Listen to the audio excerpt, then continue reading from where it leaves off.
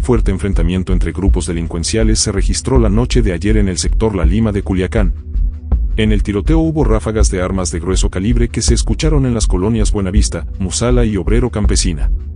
La agresión inició alrededor de las 22.30 horas, cuando un comando a bordo de varias unidades disparó contra un inmueble que se localiza por la calle Vesta entre Cometa y Josefa Ortiz de Domínguez, informaron medios locales. En el lugar se encontraban también hombres armados quienes repelieron el ataque, lo que dio inicio a un enfrentamiento.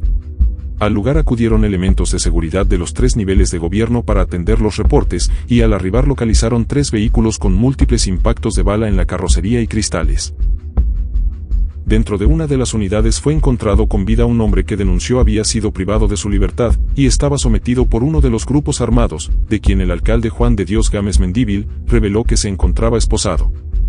Al respecto, la fiscal Sara Bruna Quiñones Estrada confirmó que el enfrentamiento se dio entre distintos grupos criminales, señalando que no hubo lesionados ni fallecidos, y que durante el operativo fueron asegurados tres vehículos con reporte de robo. Por estos hechos no hubo un solo detenido. Por su parte, el secretario de Seguridad Pública Gerardo Mérida Sánchez informó que la persona privada de la libertad localizada en uno de los vehículos declaró que era llevado por los delincuentes e ignoraba quiénes eran las personas que lo habían levantado, por lo que se le dejó en libertad y no se encontró ningún motivo para detenerlo. Esta persona privada de la libertad es un adulto masculino, que manifestó haber sido sorprendido y que lo llevaban en la cajuela de un automóvil, así como desconocía las intenciones de estos hechos. Al cuestionarlo sobre qué grupos de criminales detonaron las balaceras, el secretario de Seguridad dijo que no sabría decir qué grupos. De acuerdo con medios locales, Culiacán es el principal bastión de los Chapitos, la facción del cártel de Sinaloa liderada por los hijos del Chapo Guzmán. No se tiene ninguna persona eh, fallecida y se aseguraron en el operativo, según lo manifestó el secretario de Seguridad, porque obviamente Fiscalía no participó, se aseguraron tres vehículos con reporte de robo en, en el lugar de los hechos.